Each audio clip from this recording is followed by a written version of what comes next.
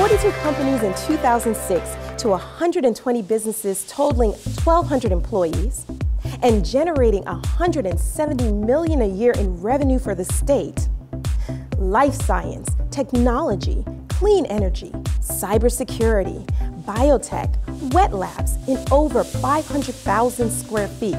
Have you figured out where we are yet? Well, if you guessed the BW Tech Technology Center on the beautiful campus of UMBC, then you're absolutely correct. And we're here today to talk to Mike Adelstein of Potomac Photonics, one of the thriving businesses at BW Tech. Come on, let's go find Mike. So we're here at Potomac Photonics with Mike Adelstein. Hi Mike, welcome. Welcome Julia. We appreciate you coming by to visit us. Thank you so much. So now Mike, I hear that small things can change the world. Can you tell us a little bit more about that? Absolutely. We focus on advanced manufacturing and making really small things. When I mean small, we can use our tools to get down to one micron and the diameter of each of your hairs is 75 microns. So you can imagine how small we're getting. And so we have customers coming to us from around the world that require really small features for biotech devices, medical device, cancer treatment, and what we do is, is we look at those applications and we use our tools to be able to fabricate that and help people. Let me give you an example about how small things change the world. What we have here is, as you can see, those are blue sutures. You know, those are normally used to, if you need to get stitches. Yeah. What we do is we take these sutures and the customer asked us to laser machine very small channels in these sutures. And what they do is, is they take radiation embedded in these sutures and then they use it for very localized treatment of breast and prostate cancer, that way limiting the amount of radiation that's used during the treatment of this. And take this device for example. Now, I'm going to pull this down and this looks like it's just a piece of plastic, right? Yes. Uh-huh. But in this plastic, there are 25,000 holes in it. 25,000 holes. You can't see them. We'll have to get to a microscope, but I can show it to you in one of our labs. Oh and those holes are 1.9 microns plus or minus 0.3 microns. And this is used for a drug discovery application. Uh, the great thing about this application is we use our competitive advantage to come up with the technology to do it.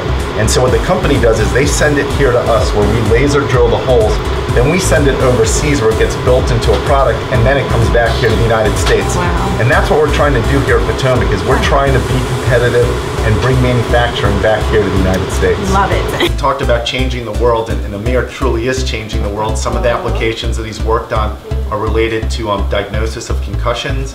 So if you get hit, someone gets hit in the head, um, one of his microfluidic devices that the customer came to us and he successfully fabricated can be used to detect whether or not that person got a concussion.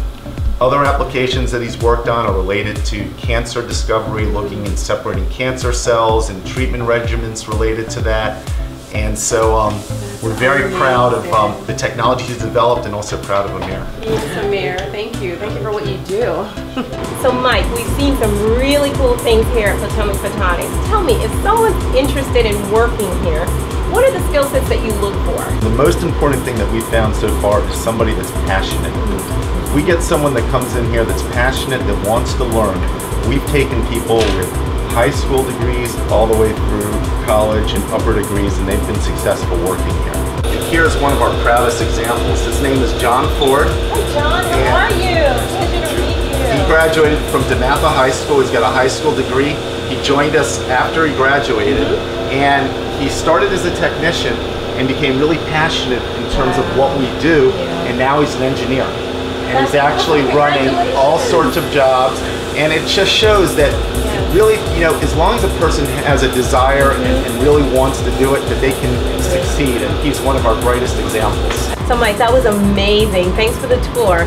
Now I know that I've heard that you've taken advantage of our Boost Fund, and I believe it was for equipment, or? Absolutely. A lot of the equipment that you saw on the floor, we used from the, we were able to purchase with the Boost Fund. Okay. And the most important thing to know about that is, as you saw, that equipment is helping change the world. It's helping wow. people here, it's curing cancer, mm -hmm. it's, it's, it's helping do drug discovery. They're doing a lot of great things, and we are so appreciative to Baltimore County for helping us with that. Uh, and we are uh, likewise, you know, appreciative of you being a, a recipient. So we are um, we're here today. We've learned a lot about Potomac Photonics.